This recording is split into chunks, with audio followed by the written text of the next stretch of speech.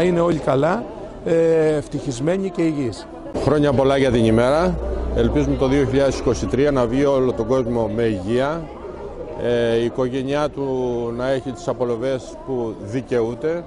Εύχομαι στους δημοσιογράφους, τους Αγιοβασίλειδες της πληροφορικής ε, χρόνια πολλά, να είσαστε πάντα υγιείς, να μεταφέρετε όλες τις απόψεις σε όλο τον κόσμο. Εμείς σαν Δημοτική Αρχή υποσχόμεθα ότι θα κάνουμε ό,τι περνάει από το χέρι μας και το 2023 να είναι ευχαριστημένος ο κόσμος. Χρόνια πολλά σε όλους. Χρόνια πολλά, καλή με υγεία σε όλους, χαρές, επιτυχία να έχουμε στα σπίτια μας, όλοι οι δημότες μας, εσείς και οι οικογένειές σας, δυνατοί.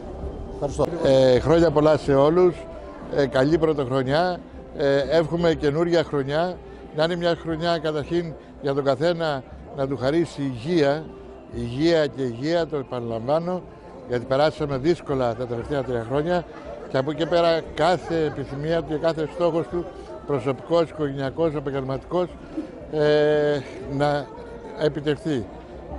Για όλο τον κόσμο ειρήνη, πάνω απ' όλα ειρήνη. Βλέπετε τα μέτωπα του πολέμου είναι σε όλο τον πλανήτη.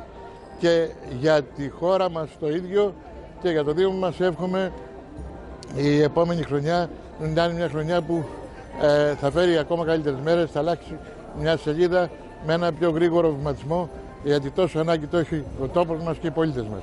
Να είμαστε όλοι καλά, καλή χρονιά με υγεία. Ε, ε, καλή πρωτοχρονιά, καλή χρονιά το 2023 χαρίσει όσα δεν μας χάρισε το 2022 να έχουμε δύναμη, να έχουμε υγεία πρώτα απ' όλα και να κάνουμε αυτό που εμείς επιδιώκουμε, θέλουμε, ξέρουμε, μπορούμε για τον εαυτό μας.